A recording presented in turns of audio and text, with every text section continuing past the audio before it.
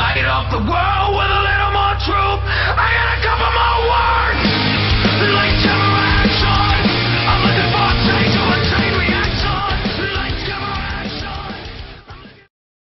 What is up, guys? This is Nistro here, and today I just got a video for all just uh, begging the question: um, Is Maxx C worth running at one? And uh, uh, we can probably say with a definite. I mean, I can probably say uh, I definitely think so. Um, although it is uh, one of those cards that you know ha- has always been something that's run in multiple copies. Like usually people would max out on Maxx C, no pun intended. Uh, they would usually play three copies when it was at three, or two copies when it was at two. And when it was at three, it would usually be like side decked um, sometimes, you know, just to uh, to make sure that your main deck space wasn't really hindered. Uh, when it was at two, more people saw more confidence in main decking it rather than side decking because it was like it's it was more of a main or nothing type of thing, especially for a deck like for certain decks like Mermails, uh, which kind of needed Maxx C in some situations. Um, and with the Zoo format, um, Maxx C is actually pretty damn good because of how much Zoo can go off. Um, now, uh, you could argue that using Zoo, uh, not Zoo, using Maxx C at the wrong time against Zoo could be more of a hindrance than helpful, but you know, you're still drawing a lot of cards if you use it on their first turn, especially if they open Rat or Barrage and all this crazy stuff happens. You know, you're, you're just going to be getting so much advantage that eventually they're going to start being, uh, like the Zoo player is going to start to wonder, like, should I stop or should I keep going? But yeah. So the reason why I say it's worth running, because usually when broken cards get put down to one, they're usually still worth running. Uh, let me give you some examples. Uh, Upstart Goblin. Now, this people were kind of shaky about Upstart Goblin. It was at three. It was like, oh, 37 card deck meme, Patrick Hoban meme. Um, and you know, it wasn't really something that people thought was going to get hit. It, it was like one of the last things people thought was going to get hit because a, it's generic. B, um, it's not it like it's not even a plus one. You know, it's like it, it just replaces itself. So in any deck over 40, it would kind of be uh, redundant to play it because it's not really you're not really getting anything out of it. I mean, you are you do technically have a shorter deck and you are giving your opponent life points, but um, it's it, it's it's more of just like real situational um, how good it was, you know. But you know, putting it down to one, a lot of people still played it in certain decks because it, it was just still made your deck lower than 40 and certain decks want to be as consistent as possible. So playing um, upstart in four whether it's at one or three was still pretty useful. Um, i could say the same thing about solemn warning. Uh, when warning first came out like judgment was still around and it was like one judgment two warning and then judgment got banned. So it was like okay we have triple warning now. And then warning got uh, hit to one, and then it was like people were still running warning uh, before strike came out, and even after strike came out, um, I still think uh, warning was used uh, quite a bit um, because a it's way more budget, but b it's just as useful, if not more useful, in certain situations than solemn strike, and uh, it's still worth it's still worth playing uh, even with one copy because just of how much of a edge it can get you.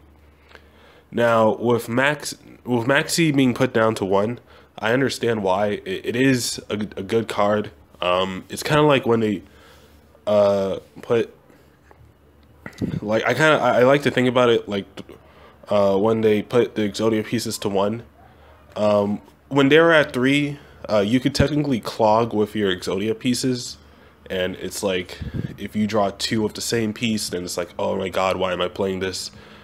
But uh, when all the pieces are limited you get to focus your entire deck around you know just drawing and all this and that. And then um, you don't have to worry about you know getting multiple pieces of exodia or multiple of the same pieces because you know everything's at one. All five pieces are at one. So once you get one you know you're not gonna get another one. Uh, like another of the same one. Uh, with Maxx C, you know, uh, the the way I like to say it is at least you can't Maxx C into Maxx C now, and uh, you know it. It's it's still something that I feel you can main deck now because now it doesn't take up as much main deck space. You don't have to worry about it taking up like three slots in your main deck, and you technically have more space in your main inside. And uh, most meta decks are pretty consistent anyway, so it's like we usually they usually have like a good number of searchers, and some have more draw power than others. Some don't really have that much draw power, but um, usually they're usually self sufficient, and Maxx C is more of something that just helps keep uh, like uh, balance uh, the uh, the board when your opponent starts to go off and you're like, okay, I have this Maxx C, I'm not worried. All right.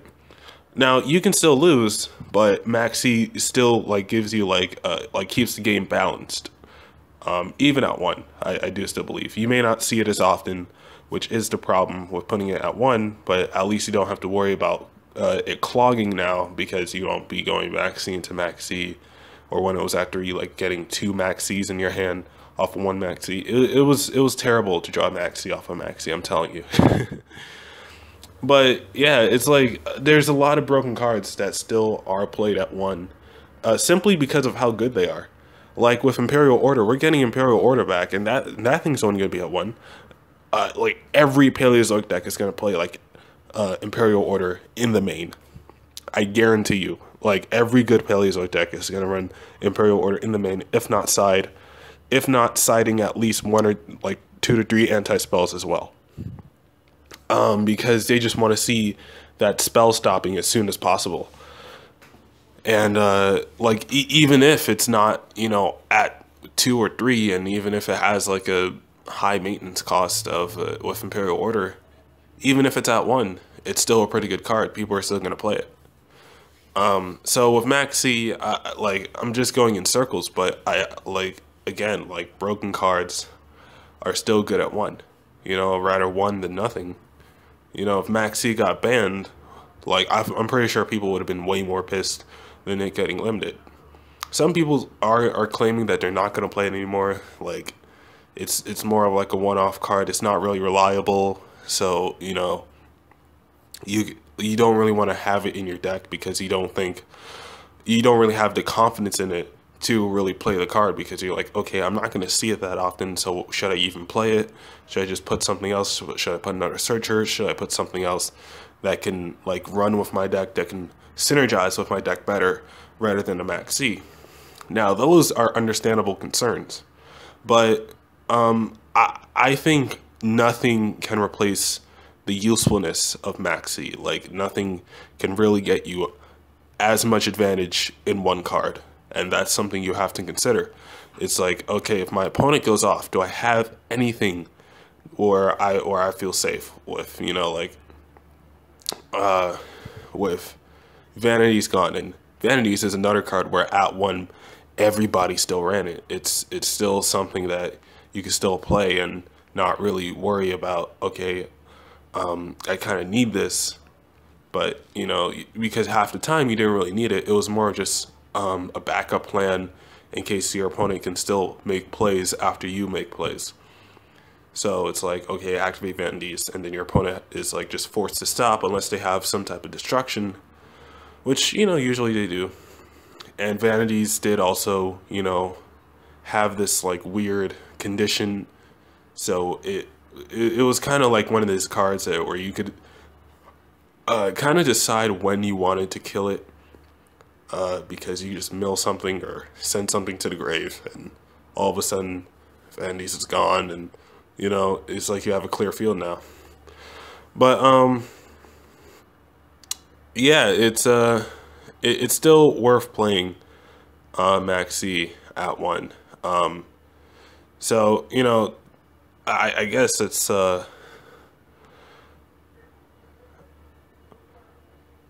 Wait. All right.